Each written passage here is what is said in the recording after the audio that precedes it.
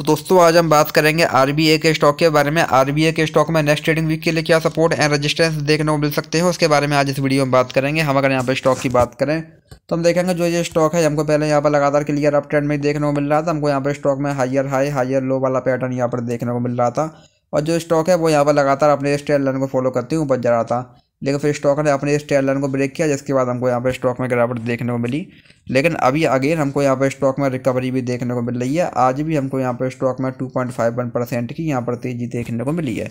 तो यहाँ से अभी हम स्टॉक में बात करें यहाँ से अगर अभी स्टॉक में और तेज़ी आती है तो यहाँ से अभी और तेज़ी की कंडीशन में।